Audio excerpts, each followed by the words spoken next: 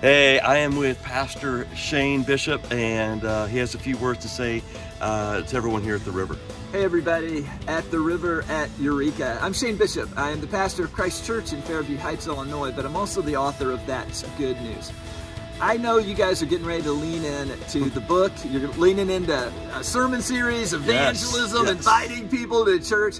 One of the great things about having a new season in the life of a church is the church ends up aligned, excited about Yes. their future, and ready to get back to what churches are called to do.